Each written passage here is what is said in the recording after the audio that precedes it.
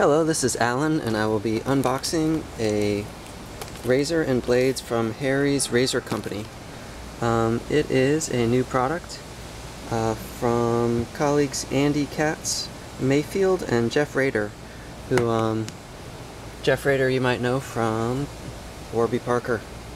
Just picked up a pair. Love them. Um, anyway, uh, let's get this thing open. Just ordered this online. It came right away. Um, see what we got in here.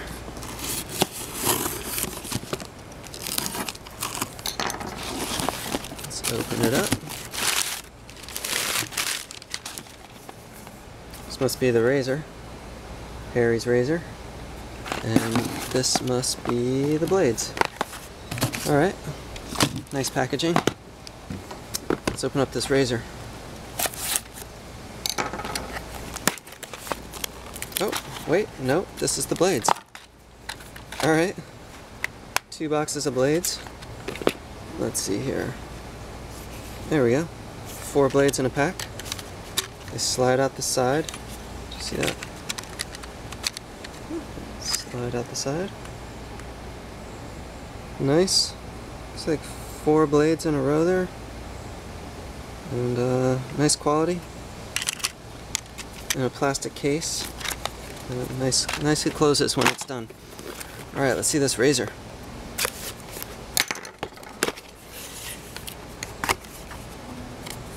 Little thank you note. And we have a razor. Ooh, I got the white one. Very nice, little protective coating. It's got a nice feel to it. I was afraid it would be very light, but it's uh, got a nice heft. Um, oh, that's how it ejects right off there. Clicks in.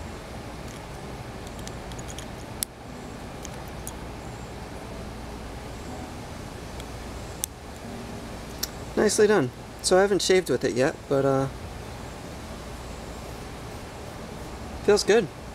Rubbed it across my face a few times. Feels great. Um, put that out of the way. Another box of blades. That's it. Not bad. Whole thing cost me 25 bucks and uh, 10 for the razor, 15 for the blades. It's a good deal. Alright, signing off. You have seen the unboxing of Harry's Razor and Blades. Coming to you live from Brooklyn, New York.